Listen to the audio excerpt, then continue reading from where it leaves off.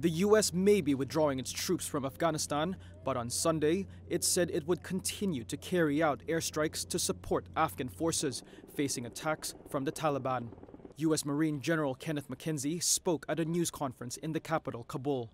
The United States has increased airstrikes in the support of Afghan forces uh, over the last several days, and we're prepared to continue this heightened level of support in the coming weeks if the Taliban continue their attacks.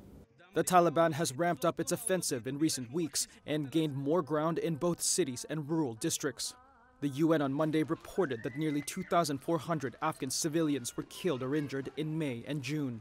It's the highest for those two months since records started in 2009. All this comes after U.S. President Joe Biden said in April U.S. troops will be completely withdrawn by September. That will put an end to two decades of foreign military presence there. McKenzie did not say whether U.S. forces would continue airstrikes after the end of their military mission on August 31st. He did, however, say that a Taliban victory was not inevitable. Going to be hard days ahead, but there's a path that could lead us to a political solution to this war.